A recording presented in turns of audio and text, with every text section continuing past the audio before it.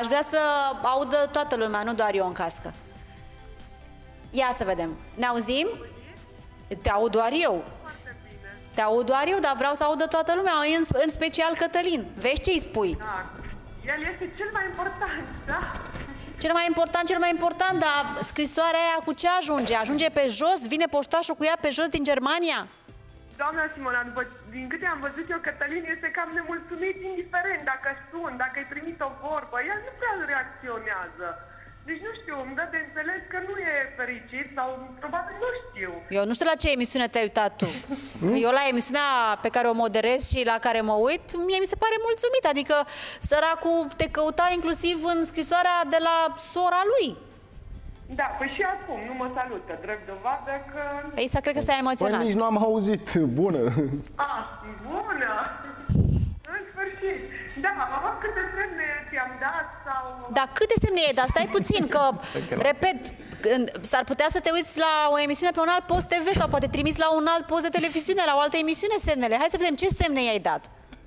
Păi a, asta este a doua oară deja când sun și nu-l văd entuziasmat de apelul meu. Da? În direct. Păi ce vrei să facă? Să sară așa? Păi nu, să mă salute, să discutăm și așa a zis că așteaptă semne de la mine. Păi ai trimis scrisoarea aia ca să știu și eu. Nu? Cum? Zic, putem să vorbim și în direct. Nu ne Da, bineînțeles, zic că ai trimis scrisoarea aceea. Sau...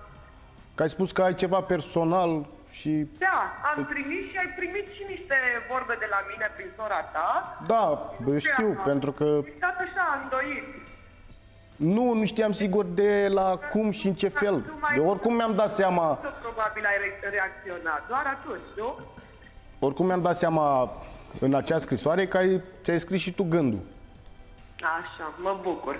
Ce să zic, am văzut fata nouă, că de-aia am ținut Așa, da, hai că eram curioasă de ce ai sunat. Da, ai văzut-o pe Denisa? Sau să-i spunem și ei Denis? Da, pe Denisa și am văzut că este oarecum uh, compatibilitate între ei, așa cel puțin din priviri, din uh, gesturi și plus că el a făcut cererea în căsătorie din prima secundă când a văzut-o. Cine? Mi s-a părut, Cătălin i-a spus dacă este hotărâtă să se căsătorească. Păi și asta e o cerere în căsătorie? A întrebat-o omul. Păi da, după ce a trecut prin trauma cu tine, se- pe bune că întreabă, mai are un pic și mă întreabă și pe mine dacă sunt măritată. Nu mai înțeleg nimic. Deci anunțul e gata, nu mai înțelege Nu nimic. mai înțelege Mi-a nimic, propus să Cătălin. ne căsătorim E acum, gata. fideltate. Merge și să, să vadă singur dacă se potrivesc sau nu. Deci chiar, chiar m-aș bucura să încerce și să vadă exact ceea ce își dorește pe viitor. Da, stai un pic, că eu, eu nu înțeleg, tu tot pe, tot pe el îl cerți? Adică tot el e de vină, săracul om, că l-ai pus în situația la- în care l-ai pus? Nu este nimeni de vină. și Nu este nimeni de vină, nici tu? Nu. Nu. Nu mă nu consider Eu, că eu de cred că sunt vină. de vină. Că am apărut. Eu am spus că l-aștept, că discutăm, ce i-am spus. Eu așteptam un act pe care l-ai promis și pe care ai spus că l-ai. L-am, actul l-am, da. Ok, și? Și păi, ideea este că nu, nu, eu chiar am zis, vreau să văd ce se întâmplă cu el. A, deci tu, tu nu-l trimiți că vrei să vezi ce se întâmplă. Păi, Cătălin, ia vezi și tu ce se întâmplă, că deja... Încă un test, nu? E un test că am rămas aici în casă și tu ești afară și încă un test să vezi ce... Tot doresc să primești, dar de oferit n-ai oferit nimic. Dar nu Mamă, Dar ce să fac de aici din casă? Nu înțeleg, eu nu te înțeleg. Ia- Iartă-mă, dar crede-mă, tu nu știi ce revoltă uh, e și în regie la colegii mei. Adică, stai puțin, Nicol, noi toți de aici vedem lucrurile într-un fel, dar toți. Și chiar nu ne-am vorbit înainte, că nu știam că o să o suni. Colegii mei la fel.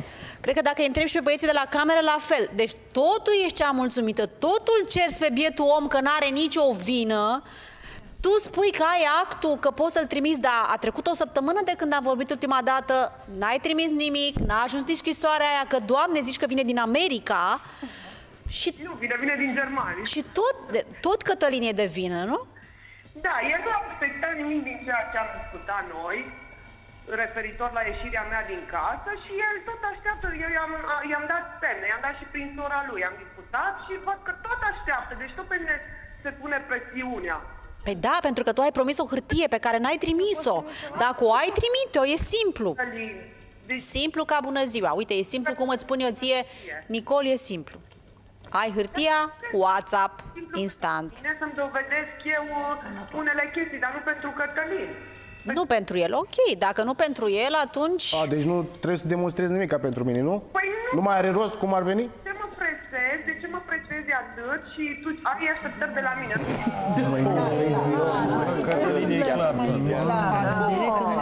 Ai altă fată. Nu mai, nu mai pot. Clar.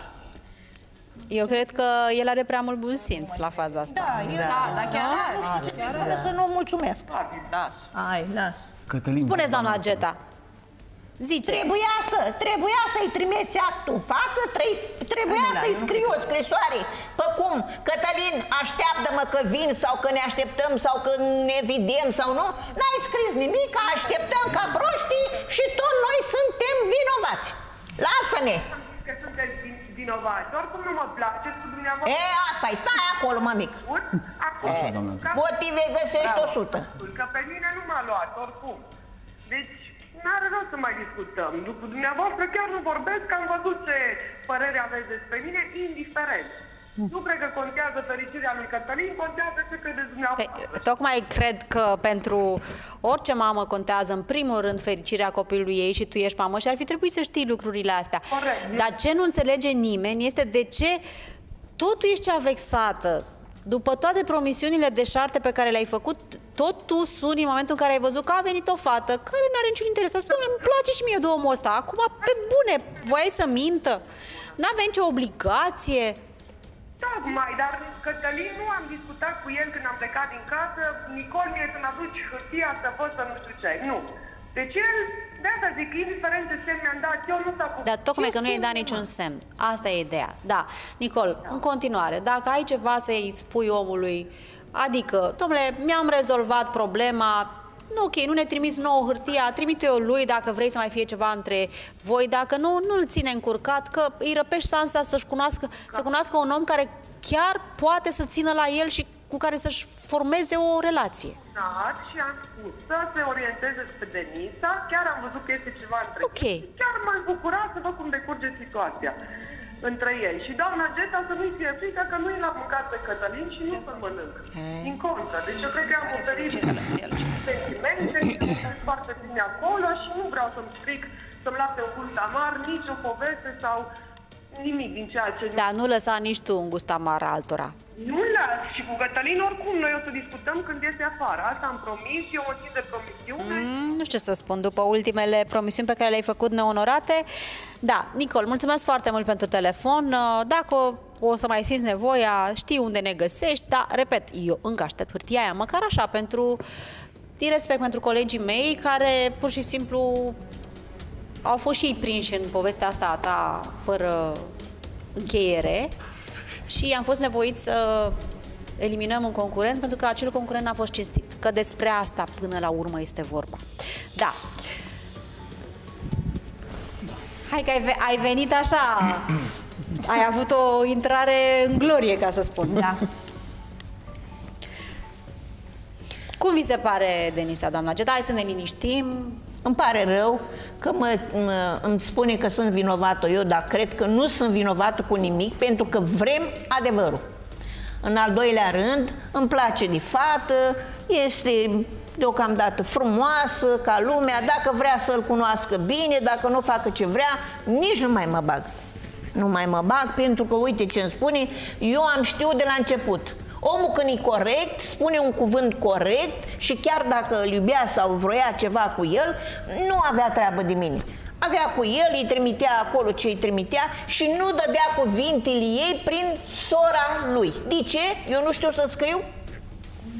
Mă rog, aici uh, colegii mei au niște îndoieli în legătură cu această afirmație a lui Nicol, pentru că uh, i-am spus lui Cătălin și ieri. Scrisoarea de la uh, sora lui a venit marți, deci practic o zi înainte să discute Nicol cu Cătălin. Adică acum o săptămână și. Cum ești, Cătălin? Ești nervos? Da. Supărat, na. Aștept două săptămâni. Ce o să faci de acum încolo?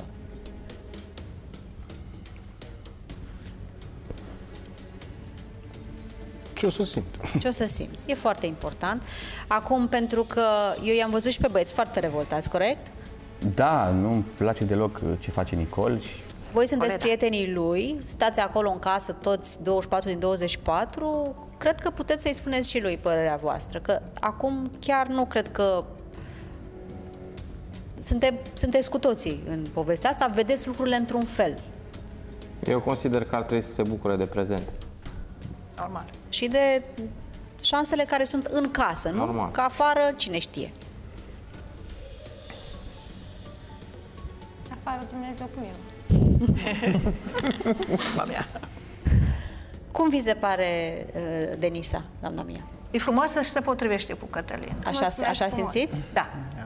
Doamna Ermina, da? Se potrivește. Da? Da, mai bine decât... uh, Nu, mai hai să nu mai facem comparații. Da. Nu, se potrivește, da. Gata, a venit și a spus părerea, acum or să vadă, o să aibă și ei timp să se cunoască. Cătălin, trăiește clipa, știi vorba aia. Da, da, da. Cătălin. Tu o să știi cel mai bine ce simți până la urmă, da? Facem așa.